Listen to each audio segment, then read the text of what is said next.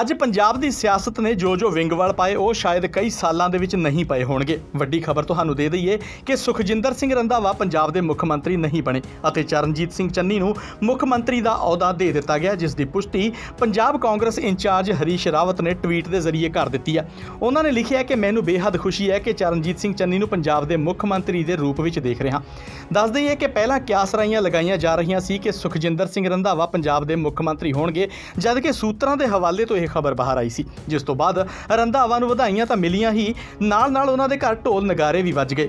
ਪਰ ਐਨ ਮੌਕੇ ਤੇ ਹਾਈ ਕਮਾਨ ਨੇ ਦਲਿਤ ਕਾਰਡ ਖੇਡਿਆ ਅਤੇ ਚਰਨਜੀਤ ਸਿੰਘ ਚੰਨੀ, ਜੋ ਕਿ ਦਲਿਤ ਸਿੱਖ ਚਿਹਰਾ ਨੇ ਪੰਜਾਬ ਕਾਂਗਰਸ ਦਾ, ਉਹਨਾਂ ਦੀ ਝੋਲੀ ਦੇ ਵਿੱਚ ਮੁੱਖ ਮੰਤਰੀ ਦਾ ਅਹੁਦਾ ਪਾਇਆ ਗਿਆ। ਅੱਜ ਚਰਨਜੀਤ ਸਿੰਘ ਚੰਨੀ ਪੰਜਾਬ ਦੇ ਮੁੱਖ ਮੰਤਰੀ ਬਣ ਗਏ ਨੇ। ਪਹਿਲਾਂ ਇਹ ਵੀ ਸੀ ਕਿ ਨਵਜੋਤ ਸਿੰਘ ਸਿੱਧੂ ਮੁੱਖ ਮੰਤਰੀ ਹੋਣਗੇ, ਕਿਉਂਕਿ ਸਿੱਧੂ ਨੇ ਖੁਦ ਹਾਈ ਕਮਾਨ ਨੂੰ ਮੁੱਖ ਮੰਤਰੀ ਬਣਨ ਦੀ ਚਾਹਨਾ ਜਤਾਈ ਸੀ ਅਤੇ ਉਸ ਤੋਂ ਬਾਅਦ ਸੁਨੀਲ ਜਾਖੜ ਜੋ ਕਿ ਬਹੁਤ ਹੀ ਸੀਨੀਅਰ ਨੇਤਾ ਨੇ, ਉਹਨਾਂ ਦਾ ਵੀ ਨਾਮ ਟੌਪ ਲਿਸਟ 'ਚ ਚੱਲਦਾ ਰਿਹਾ। ਅੰਬਿਕਾ ਸੋਨੀ ਨੇ ਖੁਦ ਇਨਕਾਰ ਕਰ ਦਿੱਤਾ ਅਤੇ ਇਹਨਾਂ ਤਿੰਨ ਵੱਡੇ ਦਿੱਗਜਾਂ ਦੇ ਵਿੱਚੋਂ ਦੀ ਇੱਕ ਦੇ ਮੁੱਖ ਮੰਤਰੀ ਬਣਨ ਦੀ ਉਮੀਦ ਪੱਕੀ ਹੋ ਗਈ। ਪਰ ਮੁੱਖ ਮੰਤਰੀ ਪੰਜਾਬ ਹਾਈ ਕਮਾਨ ਵੱਲੋਂ ਚਰਨਜੀਤ ਸਿੰਘ ਚੰਨੀ ਬਣਾਏ ਗਏ ਨੇ।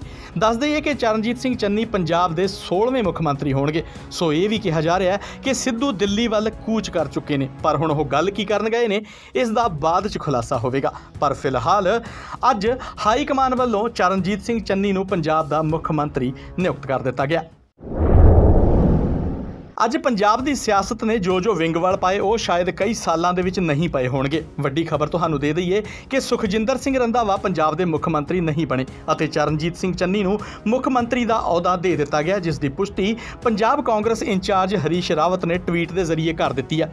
ਉਹਨਾਂ ਨੇ ਲਿਖਿਆ ਕਿ ਮੈਨੂੰ ਬੇਹੱਦ ਖੁਸ਼ੀ ਹੈ ਕਿ ਚਰਨਜੀਤ ਸਿੰਘ ਚੰਨੀ ਨੂੰ ਪੰਜਾਬ ਦੇ ਮੁੱਖ ਮੰਤਰੀ ਦੇ ਰੂਪ ਵਿੱਚ ਦੇਖ ਰਿਹਾ ਦੱਸ ਦਈਏ ਕਿ ਪਹਿਲਾਂ ਕਿਆਸ ਰਾਈਆਂ ਲਗਾਈਆਂ ਜਾ ਰਹੀਆਂ ਸੀ ਕਿ ਸੁਖਜਿੰਦਰ ਸਿੰਘ ਰੰਧਾਵਾ ਪੰਜਾਬ ਦੇ ਮੁੱਖ ਮੰਤਰੀ ਹੋਣਗੇ, ਜਦਕਿ ਸੂਤਰਾਂ ਦੇ ਹਵਾਲੇ ਤੋਂ ਇਹ ਖਬਰ ਬਾਹਰ ਆਈ ਸੀ, ਜਿਸ ਤੋਂ ਬਾਅਦ ਰੰਧਾਵਾ ਨੂੰ ਵਧਾਈਆਂ ਤਾਂ ਮਿਲੀਆਂ ਹੀ, ਨਾਲ-ਨਾਲ ਉਹਨਾਂ ਦੇ ਘਰ ਢੋਲ ਨਗਾਰੇ ਵੀ ਵੱਜ ਗਏ। ਪਰ ਐਨ ਮੌਕੇ ਤੇ ਹਾਈ ਕਮਾਨ ਨੇ ਦਲਿਤ ਕਾਰਡ ਖੇਡਿਆ ਅਤੇ ਚਰਨਜੀਤ ਸਿੰਘ ਚੰਨੀ, ਜੋ ਕਿ ਦਲਿਤ ਸਿੱਖ ਚਿਹਰਾ ਨੇ ਪੰਜਾਬ ਕਾਂਗਰਸ ਦਾ, ਉਹਨਾਂ ਦੀ ਝੋਲੀ ਦੇ ਵਿੱਚ ਮੁੱਖ ਮੰਤਰੀ ਦਾ ਅਹੁਦਾ ਪਾਇਆ ਗਿਆ। ਅੱਜ ਚਰਨਜੀਤ ਸਿੰਘ ਚੰਨੀ ਪੰਜਾਬ ਦੇ ਮੁੱਖ ਮੰਤਰੀ ਬਣ ਗਏ ਨੇ। ਪਹਿਲਾਂ ਇਹ ਵੀ ਸੀ ਕਿ ਨਵਜੋਤ ਸਿੰਘ ਸਿੱਧੂ ਮੁੱਖ ਮੰਤਰੀ ਹੋਣਗੇ, ਕਿਉਂਕਿ ਸਿੱਧੂ ਨੇ ਖੁਦ ਹਾਈ ਕਮਾਨ ਨੂੰ ਮੁੱਖ ਮੰਤਰੀ ਬਣਨ ਦੀ ਚਾਹਨਾ ਜਤਾਈ ਸੀ। ਅਤੇ ਉਸ ਤੋਂ ਬਾਅਦ ਸੁਨੀਲ ਜਾਖੜ, ਜੋ ਕਿ ਬਹੁਤ ਹੀ ਸੀਨੀਅਰ ਨੇਤਾ ਨੇ, ਉਹਨਾਂ ਦਾ ਵੀ ਨਾਮ ਟੌਪ ਲਿਸਟ 'ਚ ਚੱਲਦਾ ਰਿਹਾ। ਅੰਬਿਕਾ ਸੋਨੀ ਨੇ ਖੁਦ ਇਨਕਾਰ ਕਰ ਦਿੱਤਾ ਅਤੇ ਇਹਨਾਂ ਤਿੰਨ ਵੱਡੇ ਦਿੱਗਜਾਂ ਦੇ ਵਿੱਚੋਂ ਦੀ ਇੱਕ ਦੇ ਮੁੱਖ ਮੰਤਰੀ ਬਣਨ ਦੀ ਉਮੀਦ ਪੱਕੀ ਹੋ ਗਈ। ਪਰ ਮੁੱਖ ਮੰਤਰੀ ਪੰਜਾਬ ਹਾਈ ਕਮਾਨ ਵੱਲੋਂ ਚਰਨਜੀਤ ਸਿੰਘ ਚੰਨੀ ਬਣਾਏ ਗਏ ਨੇ।